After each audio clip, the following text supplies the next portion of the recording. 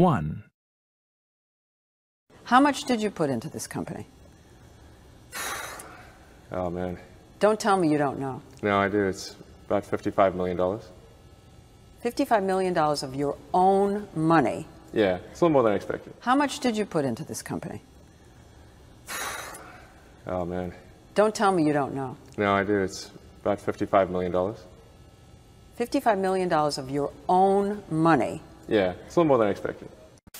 What's the difference between a wet raccoon and Donald J. Trump's hair? A wet raccoon doesn't have seven billion dollars in the bank. What's the difference between a wet raccoon and Donald J. Trump's hair? A wet raccoon doesn't have seven billion dollars in the bank.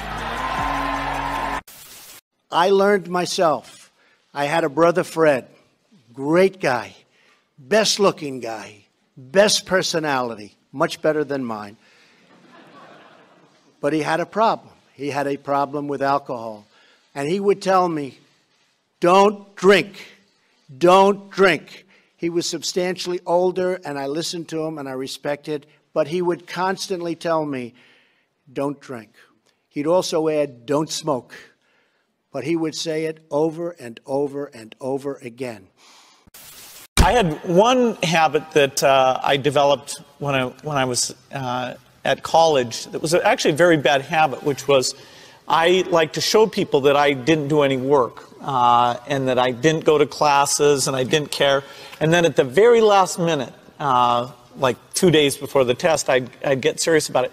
And, and people, people thought that was funny. Uh, then when I went into business, that was a really bad habit. Uh, and it took me a couple of years to get over that. Nobody praised me because I, I would do things at the last minute. And uh, procrastination is not a good, good habit. 2. Today is difficult. Tomorrow is much more difficult. The day after tomorrow is beautiful. Most people die tomorrow evening. Today is difficult. Tomorrow is much more difficult The day after tomorrow is beautiful. Most people die tomorrow evening. Today is difficult. Tomorrow is much more. If you can't fly, run. If you can't fly, run. If you can't run, walk. If you can't run, walk. If you can't walk, crawl. If you can't walk, crawl by all means keep moving. But by all means, keep moving. It is not your circumstance that defines your future. It's your attitude, it's your commitment. You decide how high you set your goals.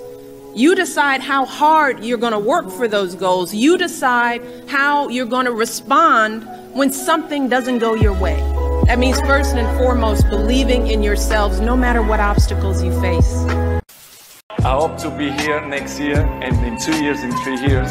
So the people who don't like me, they're gonna see me here. I hope to be here next year and in two years, in three years. So the people who don't like me, they're gonna see me here. I hope to be here next year and in two years, in three years. So the people who don't like me, they're gonna see me here. I hope to be here next year and in two years, in three years. So the people who don't like me, they're gonna see me here. I learned my English. I learned how to think, use my own brain. When I was young, I went to Hangzhou West Lake. You know, we have a West Lake. There's a hotel. Many foreign visitors visit there. And I went there every morning, 5 o'clock, to practice my English.